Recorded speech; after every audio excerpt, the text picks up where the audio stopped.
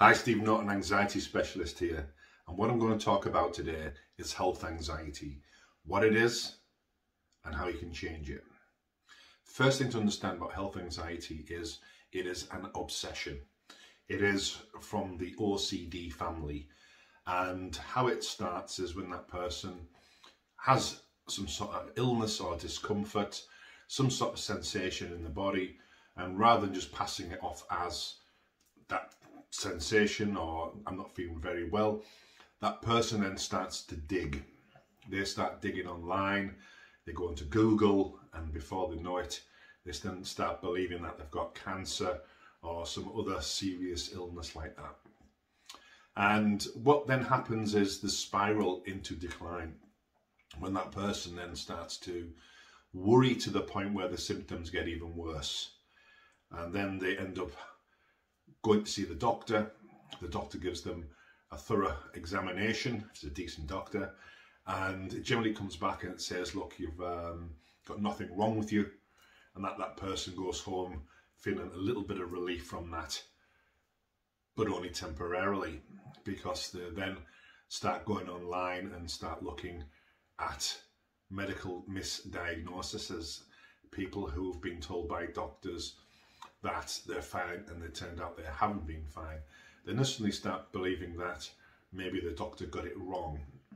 And they'll start digging even further on Google. And that becomes an absolute obsession with the person. Actually makes themselves ill and exacerbates any symptom. By the very fact that, that they are focusing so much on that symptom they can almost create new symptoms and new sensations because what they're really doing is asking their mind to almost like reproduce how a more serious symptom might feel. So that person then spirals into even worse anxiety levels because they then start researching even further.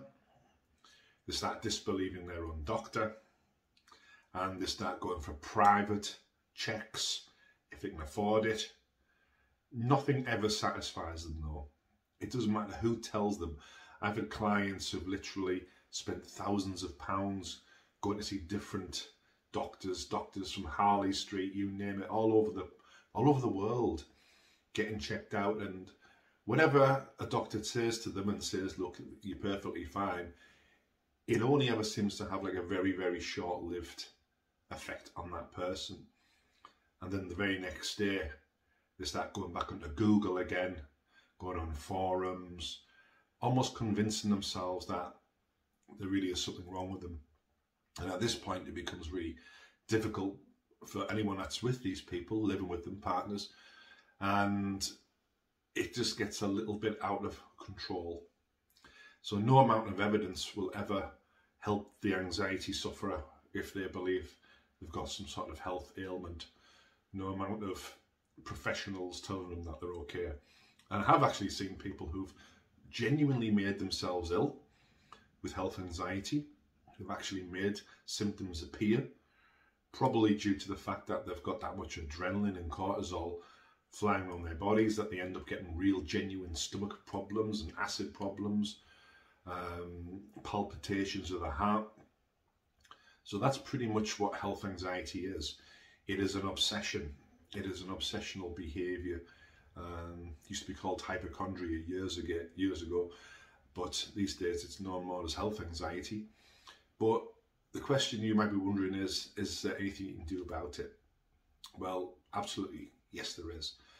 The first thing you need to do is understand that you've got this obsession. That it is not an illness, what you've got, you've actually got an obsession, an OCD style obsession. Now, the only way we can break this is by, first of all, stop going on Google. Stop Googling symptoms. And you must start changing your focus away from your health because the more you start to focus on it, the more you're asking your body to create sensations and refocus yourself on something else.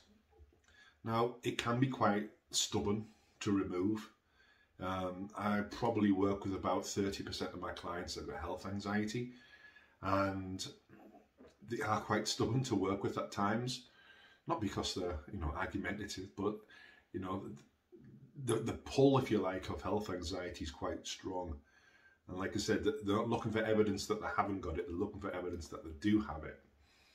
And when you understand how compulsions are, then you're able to treat it. So my, my probably best advice for you would be to actually get some professional help from someone like myself who can who specializes in removing health anxiety. And yes, it does it takes some effort to do it. It's it's quite a stubborn little bugger to get rid of health anxiety, but you can do it. And one of the reasons people choose me is because I use a, a technique called thought retraining. And what thought retraining does, it is a technique of how to stop and block the thoughts that cause the health anxiety in the first place. And if you practice the health anxiety uh, protocol, which is what I teach to my clients, you can generally get rid of health anxiety pretty quick. But like everything in life, it does have to be worked at. It needs to be practiced. So it isn't something that has to be with you all the time. It is something that you can reverse, reverse the obsession with the right help. So if you'd like to know any more about that, you can either get in touch with me or you can actually help with uh, health anxiety on my new rapid anxiety elimination program. And that will give you the full step-by-step guide of how to remove health anxiety.